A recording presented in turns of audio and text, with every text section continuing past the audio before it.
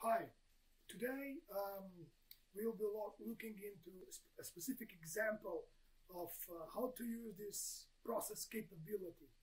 And the whole thing about the process capability is the fact that we need to, at the same time that we develop the assets, the business processes, we also, uh, in what this means is you do an improvement project where you model specific a specific scenario or a combination of scenarios like in the case that we have in here um, specific to this uh, the purchase to pay case that is a well-known one where everyone really wants is a one-touch order when you want to ensure that vendors um, uh, that vendors are effectively with good master data as we um, as we do this, as we model these processes, we want to at the same time propose and bring to the organization the capability to do this in a continued way.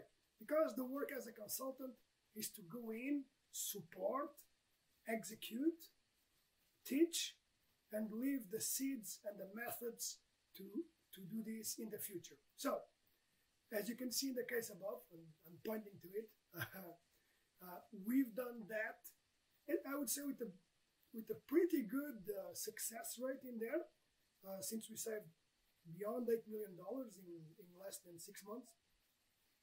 Um, but all of these had to do with an effective combination of new systems implementation, an effective combination of new uh, new business process design, and a really really effective governance around it.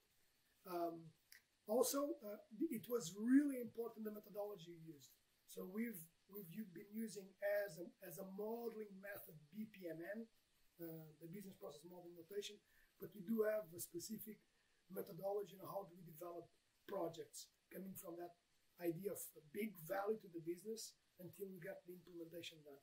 Uh, and over the days, I think that's a trigger for your process journey. It's a trigger to, to ensure that as we move forward, as you do projects, you implement one capability more, another capability more.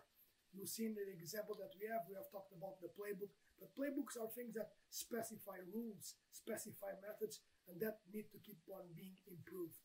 They standardize how you work, but the organization, again, will only give you credit if same time that you develop these sometimes theoretical methodologies at the same time you implement them. And that that's something where you are really keen on. It's making an implementation a, fun thing a powerful thing and that saves you money and maintains a sustainable growth really sustainable one. So enjoy your day and uh, hope you can speak soon. Uh, I'll, I'll put the links to the today's briefing in the, in the notes of the video and if you need to reach us out, um, phone number is also there. So uh, we are definitely into this uh, journey of bringing process thinking into the organization at the same time as we do really strong improvement projects. Enjoy the day.